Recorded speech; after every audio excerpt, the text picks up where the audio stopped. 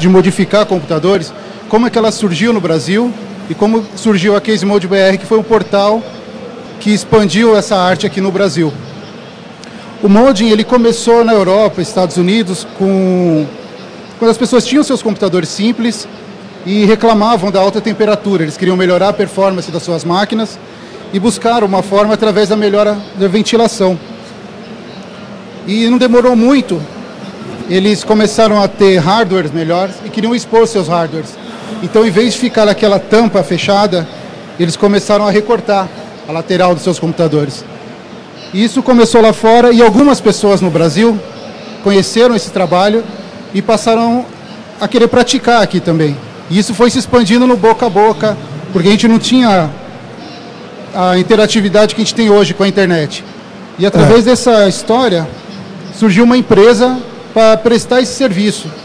E as pessoas tinham medo de mexer nas suas máquinas, e aí surgiu a Case Mode BR através do Fernando, que começou a vender e comercializar essas modificações. Perto do final de 2001, início de 2002, eu comecei a pesquisar na internet a respeito sobre modificar gabinetes. Porque eu tinha um gabinete em casa, um gabinete daquele bege, bem simples, né? Ele era até funcional, era bom, mas estava todo riscado a pintura, estava amarelado e eu queria modificar aquilo, queria melhorar aquele gabinete. Então comecei a pesquisar na internet alguma coisa a respeito disso, não encontrava nada comecei a procurar termos em inglês, como case, como pintar, alguma coisa assim. Até que encontrei a palavra correta, que seria case mode, que seria modificar o gabinete. E procurei é, páginas no Brasil. Encontrei um fórum. Nesse fórum de informática tinha vários tópicos e só um tópico sobre case molding, que era modificar gabinete. Eu falei assim, meu, não tem condições, tem que, tem que ter mais alguma coisa, não é possível. Pesquisei, pesquisei, não achei nada. Tudo em inglês. Resolvi eu mesmo é, partir para cima dessa área. Parti para cima dessa área da seguinte forma. Fui lá, pesquisei quais ferramentas tinha que comprar. Uma serra tico-tico, uma Dremel, é, uma furadeira. E eu mesmo, a partir daí, peguei meu gabinete, é, pintei ele, Lógico que naquele tempo era a pintura era bem simples, foi um spray. Modifiquei ele, deixei ele bem funcional e levei na loja que eu trabalhava no Santa Figênia, loja de informática. Isso no final de no início de 2002. O pessoal da loja gostou, deixei exposto lá. Em três dias, o gabinete que eu tinha pago em torno de 50 reais, eu vendi ele por 200 reais. Pra você ter uma ideia. Porque nunca ninguém tinha visto aqui no Brasil, até aquele momento, um gabinete com a janela de acrílico lateral e um gabinete com a cor diferente do bege. Entendeu? A partir daí eu vi o mercado, vi que tinha um mercado e potencial. Só que para você investir nesse mercado, você tinha que correr muito atrás das coisas, porque não tinha nada pronto, não existia nada pronto. Não é igual hoje que você vai na loja de informática, você compra um display de LCD igual esse aqui, um controlador de fãs, tudo colorido, tudo pronto. Só você ligar lá, está funcionando. Naquele tempo você tinha que ter conhecimentos de informática, conhecimentos de eletrônica. Se você quisesse saber a temperatura do seu computador sem usar, sem ficar olhando para o monitor, você tinha lá o. Você tinha que pegar um display de LCD, daquele tipo de orelhão, né? E modificar ele para ligar no computador e obter as informações que você precisava. A partir daí eu comecei a pesquisar, comecei a ver tutoriais em inglês, comecei a passar esses tutoriais para o português, né? Um pouco depois, no começo de 2000, 2003, eu fui procurado pela revista Infoexame. Né, tá aqui a matéria, da, tá aqui nessa página.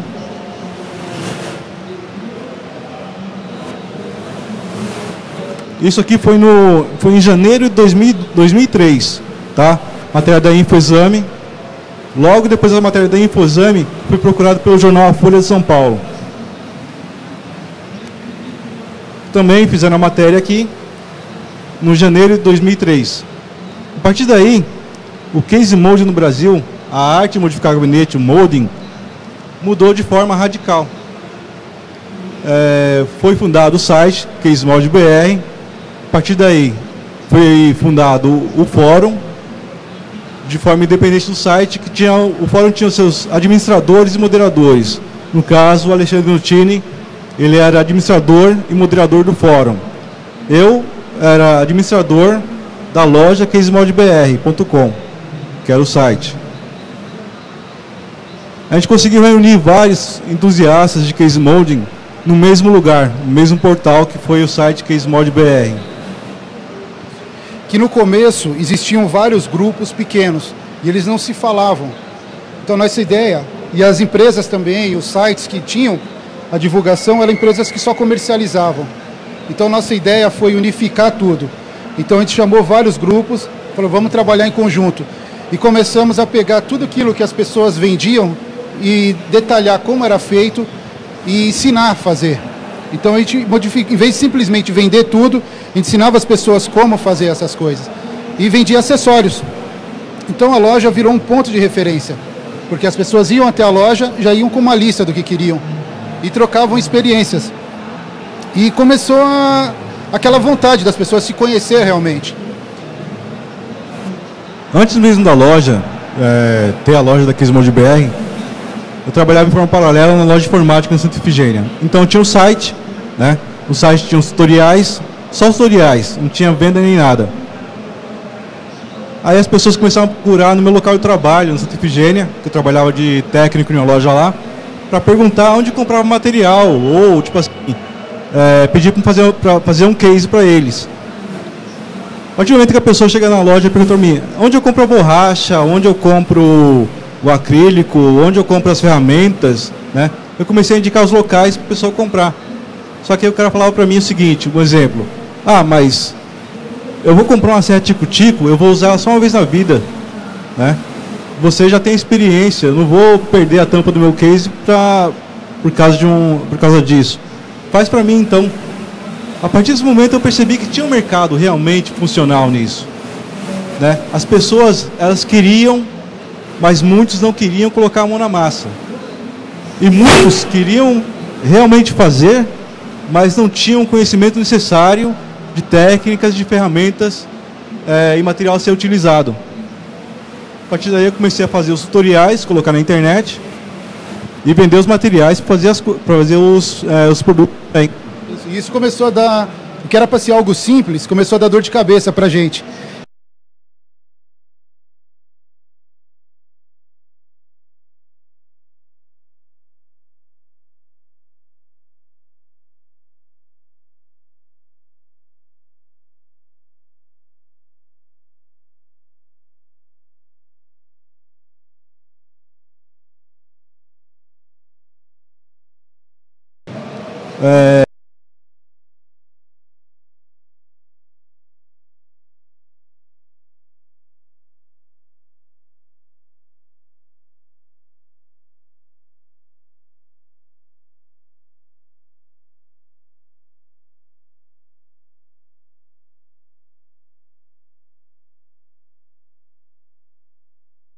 Tinha um site?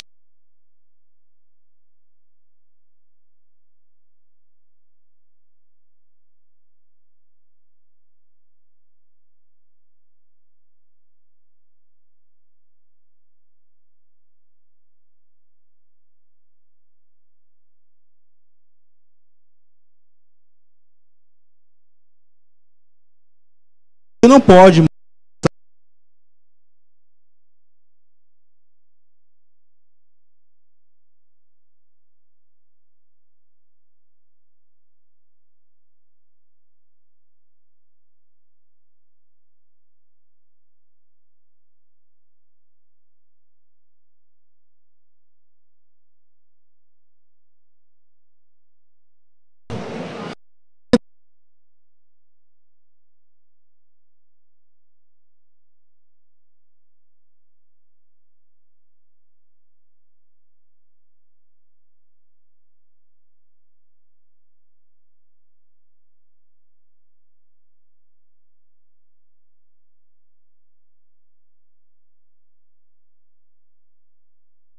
Então eles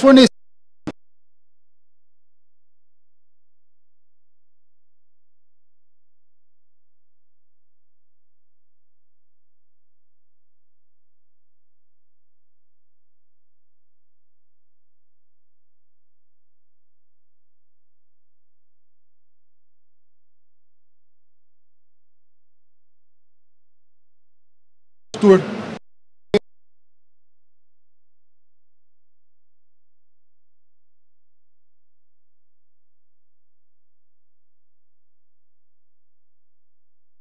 Arthur.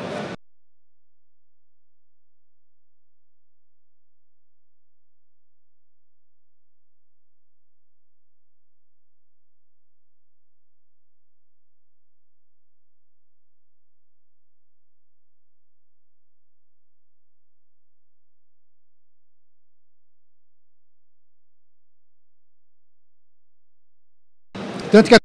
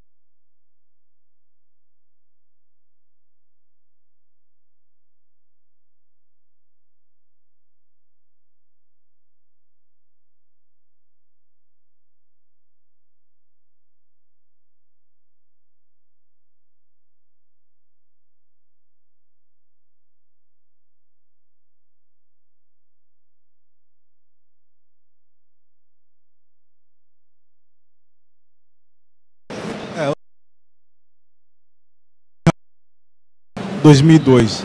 Você pensar bem, não foi, não há um salto muito grande assim em tempo, tá? Mas tudo que você vê hoje em relação ao modem é praticamente tudo pronto. Você não encontra é, fã, você vai comprar um ventiladorzinho, já vem com LED e tudo mais. Naquele tempo a gente fazia o quê? A gente pegava um, pegava um ventilador desse, né? mesmo preto, e colocava a iluminação nele. A gente abria o ventilador, desmontava ele e colocava a iluminação. Depois isso virou uma tendência de mercado, como a gente está falando agora. Tudo que a gente fazia, tudo que modem começou, a indústria é, tomou para si e deu, e deu continuidade. E hoje o mercado de modem é esse. Tudo que você encontra está pronto já.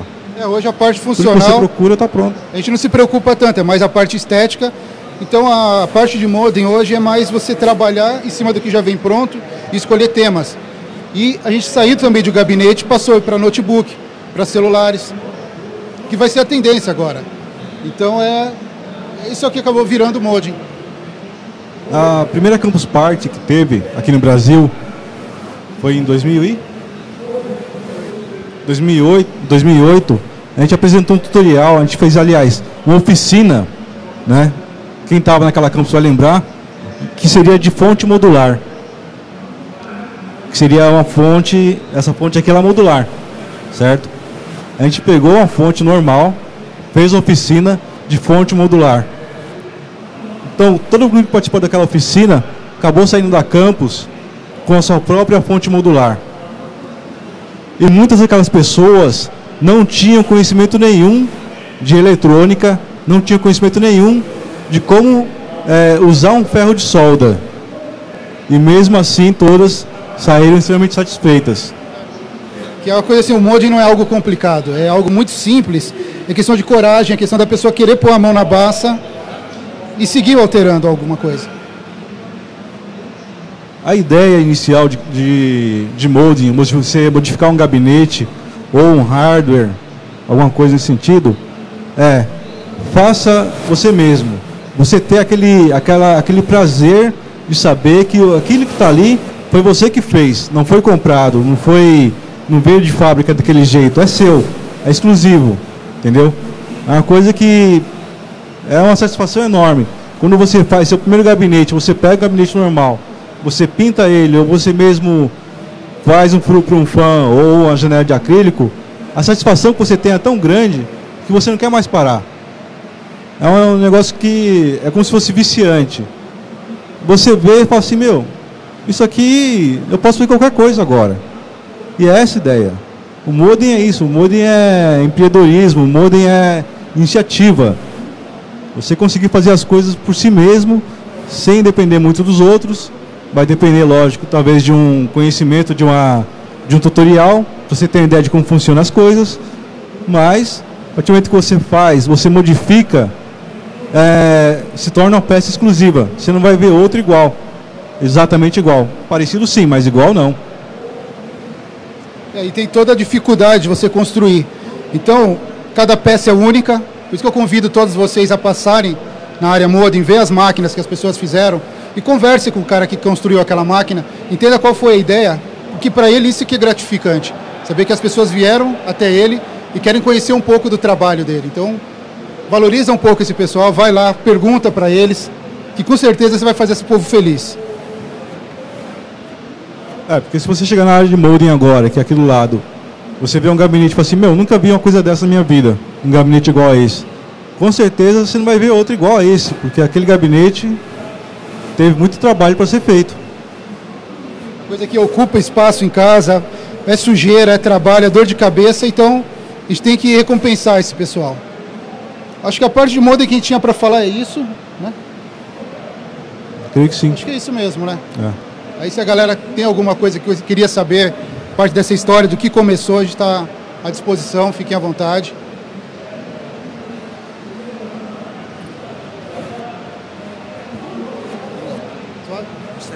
É, eu gostaria de saber quanto que seria aproximadamente o que vocês ganhavam nesse início e quanto vocês ganham hoje em dia.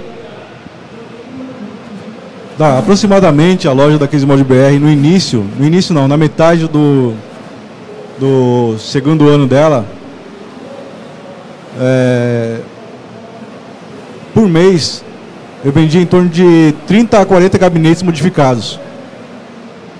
Uma média assim, você pagava em torno de 110 reais um gabinete, vendia ele por 280. Entendeu? Isso foi na metade do segundo ano. Em torno de 30 gabinetes modificados por mês. Né? Então seria praticamente um por dia. Fora é, os gabinetes sem modificação. Que era vendido para a pessoa fazer a. O cara comprava para poder ele mesmo modificar. Aí você tinha os insumos, que seria a borracha, é, os ventiladores, é, as, os, os, os laser grills, que seriam aquelas gradinhas personalizadas, né? a iluminação. Mas isso foi um mercado que decaiu muito. As lojas que vendiam, as, os sites que surgiram depois vendendo material de molding, hoje não vendem quase nada de molding. Eles, foca, eles focaram agora mais em informática, em eletrônica, ou pequenos acessórios, como um parafuso cromado, né? um tube screw, que seria esse parafuso aqui em cima, ou laser grills e adesivos. Porque o mercado de moda decaiu muito nos últimos anos. Decaiu por quê? Está tudo pronto praticamente. Você vai comprar um gabinete, dificilmente você vai comprar um gabinete que você acha bom, que já não venha com acrílico lateral. Entendeu? 90% dos gabinetes hoje já vem com acrílico. Existe o mercado de molde ainda, existe, mas é, você vai ter que batalhar muito para ter clientes. Vai ter que batalhar muito mesmo. E a, a propaganda do molde, o molde se faz a propaganda boca a boca da recomendação. Se eu faço um bom trabalho, entendeu? Eu sei que eu vou ter mais clientes. Se eu fizer um trabalho mais ou menos, eu sei que eu não vou ter recomendações depois. E é essa a questão. Você fazer um bom trabalho, não é você achar que o trabalho está bom. O bom trabalho, quem vai decidir se está bom ou não, no final é o cliente. Quando o Fernando foi embora, eu parei de vender qualquer peça e comecei a trabalhar com anunciantes. Isso rendia mais para a loja. Então a gente fazia em torno de 4 mil reais por mês, que dá uns 50 mil por ano. Só que eu tenho a minha profissão, então não usava esse dinheiro. Esse dinheiro todo era revertido para a comunidade. Então esses 4 mil reais que entravam por mês viravam peças de computadores, viravam passagens para as pessoas virem para os eventos. Então dava mais ou menos em torno de 50 mil por mês, que era revertido para a comunidade. Mais alguma pergunta?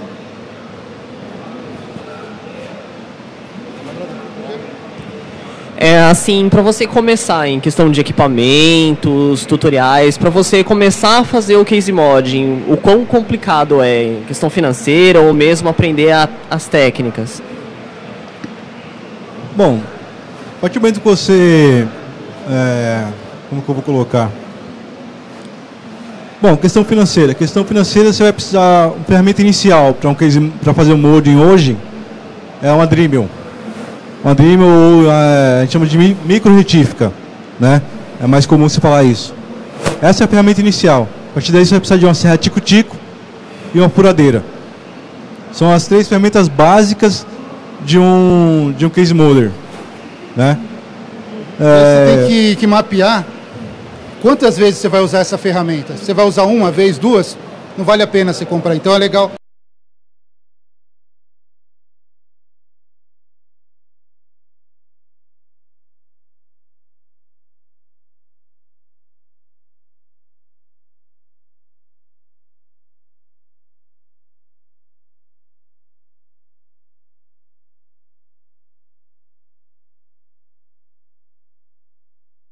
Pegar algo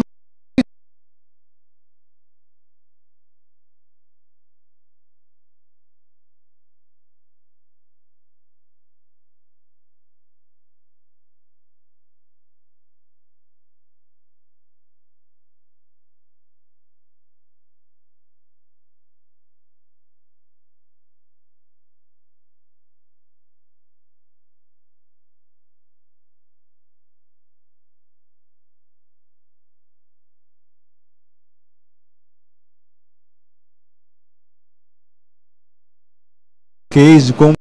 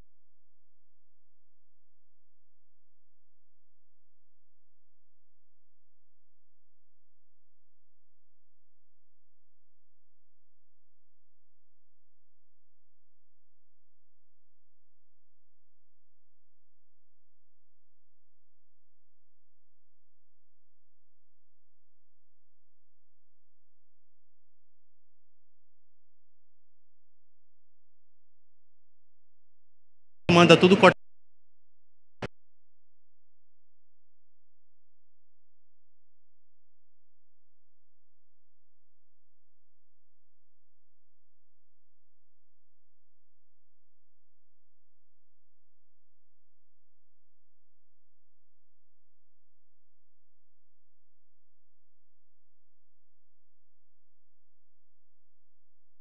laser.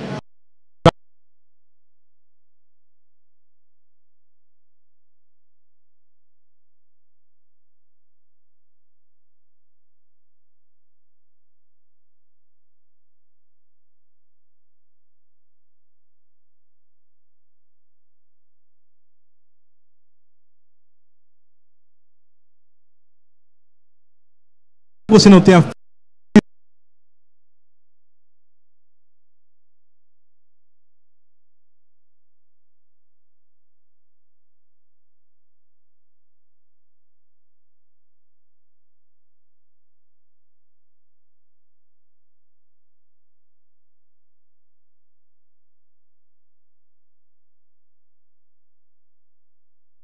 fazem esse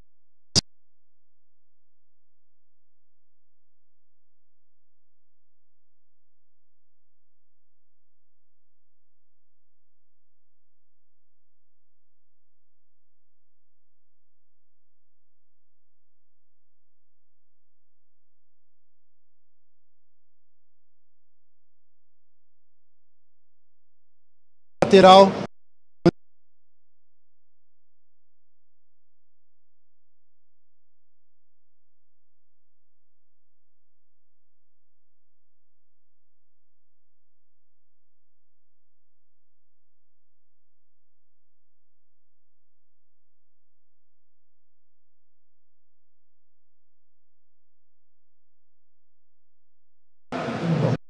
Que impressão para